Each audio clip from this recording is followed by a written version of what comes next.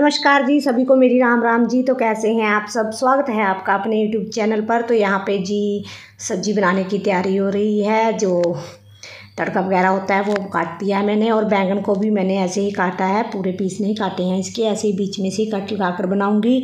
और साथ ही यहाँ पे काले चने उबाल कर रखे हैं तो कुछ जो काले चने हैं उनकी सब्ज़ी बनाएँगे और कुछ ऐसे ही छोंक लगा कर सबको दूँगी। और वैसे भी काले चने अच्छे रहते हैं हमारी सेहत के लिए भी और बच्चे भी खुश होकर खा लेते हैं। तो यहाँ पे मैंने घी डाला है और उसमें जीरा डाल दिया है, हल्दी, नमक, मिर्च, जो भी मसाले होते हैं वो डाल दिए हैं। और साथ ही मैंने यहाँ पे प्याज डाल दिए हैं। प्याज को ज़्यादा नहीं भूनेंगे, थोड़ा कच्चा कच्चा ही रखेंगे। तो यहाँ पे प्याज को थोड़ी देर के लिए भून लेते हैं। बस एक दो मिनट ही भूनूँगी, ज़्यादा नहीं तो तो जी यहाँ पे देखिए प्याज हमारे हल्के से भून चुके हैं। अब इसमें मैं डाल दूँगी जो ये काले चने हैं, उबाल कर रखे हैं वो। तो कुछ चने मैंने यहाँ पे सब्ज़ी के लिए रख लिए हैं और कुछ कटोरी कटोरी सबको दे दूँगी खाने के लिए। और आज हमारे यहाँ पे भंडारा भी है तो मुझे वहाँ पे भी जाना है। लेकिन सब्ज़ी का ये है कि देखो, मम्मी, पापा जी और भाभी हैं जैसे मेरे तो वो घर पे ही खाएँगे। मैं और बच्चे ही जाएँगे तो यहाँ पे मैं सबके लिए पहले काले चने दे रही हूँ। चाय भी बना कर रखी है और सब्ज़ी बैंगन की भी बनाएँगे थोड़ी सी वो तो सूखी सब्ज़ी है। सूखी सब्ज़ी मम्मी को नहीं देते तो इसलिए मुझे फिर काले चने बनाने पड़ रहे हैं। तो काले चने तरी वाले बाद में बनाएँगे। पहले मैं ये खाने को दे दूँगी इनको। और जैसे कांवड़ी आए हैं तो पानी वगैरह जल वगैरह चढ़ाएँगे। सॉरी, जल वगैरह चढ़ाएँगे। तो कावड़ वाले जो जा चुके हैं, वहीं पे ही भंडारा है हमारे शिव जी का जो मंदिर है, हनुमान मंदिर है, वहीं पे ही शिव का मंदिर है। तो वहीं पे ही जल वगैरह चढ़ाया जाएगा। और तो यहाँ पे मैं सबके लिए काले चने डाल रही हूँ। और आजकल ना मूड ख़राब है, बिल्कुल भी मन नहीं करता वीडियो बनाने का, क्योंकि मायके की तरफ़ से मुझे थोड़ी परेशानी है तो इसलिए तो वो मैं आगे जाकर ही बताऊँगी आप लोगों को क्या परेशानी है। और तो यहाँ पे सभी को डाल दिया है। जी, मैंने काले चने आप लोग भी खा लीजिए। वैसे भी सेहत के लिए भी अच्छे होते हैं ये और बच्चे खुश होकर खा लेते हैं। हरी मिर्च भी डाली है थोड़ी सी मैंने इसमें काट कर और प्याज वगैरह जो होते हैं वो थोड़े कच्चे कच्चे से ही अच्छे लगते हैं इसमें।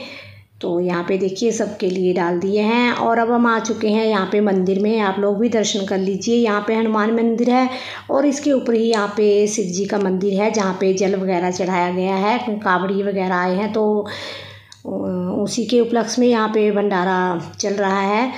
तो यहाँ पे मैं भी आई हूँ, मेरी देवरानी आई है और मेरे बच्चे दोनों स्कूल गए हुए हैं, वो तो नहीं आए हैं अभी। तो फ़िलहाल यहाँ पे हम पहले मत्था वगैरह टेक लेते हैं।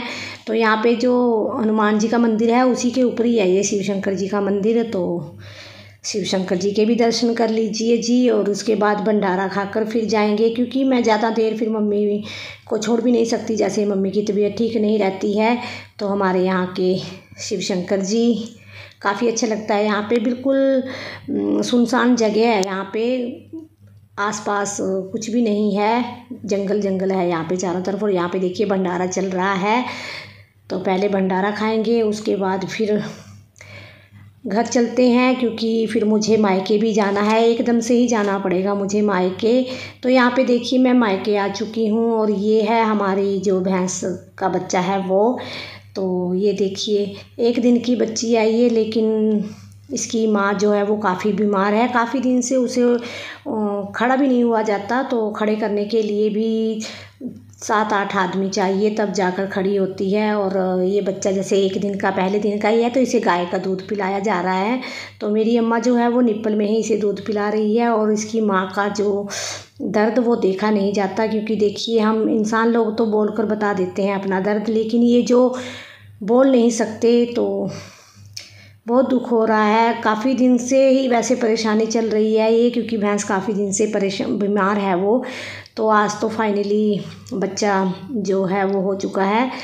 लेकिन बच्चे की भी अब तरस लगती है, लेकिन क्योंकि इसे दूध नहीं माँ का मिल रहा है, क्योंकि जो इसकी माँ है वो खड़ी नहीं हो सकती तो आप लोग दुआ करें कि ये जल्दी से ठीक हो जाए, क्योंकि बिन माँ के बच्चे को पालना ना बहुत मुश्किल हो जाता है। तो आप सभी दुआ करें कि जल्दी से ठीक हो जाए इसकी माँ। एक दिन की है ये, अभी देखिए, और इसका नाम रखा है हमने गौरा, गौरी। तो बस अब यहाँ पे मैं घर जाऊँगी, क्योंकि शाम का टाइम हो रहा है। फिर मम्मी पापा जी भी हैं घर पे और मेरी भाभी भी वहीं पे ही है, क्योंकि उनका भी लास्ट मंथ चल रहा है तो फिर उन्हें भी छोड़ कर नहीं जा सकते। तो अगली वीडियो में मिलते हैं, तब तक के लिए बाय बाय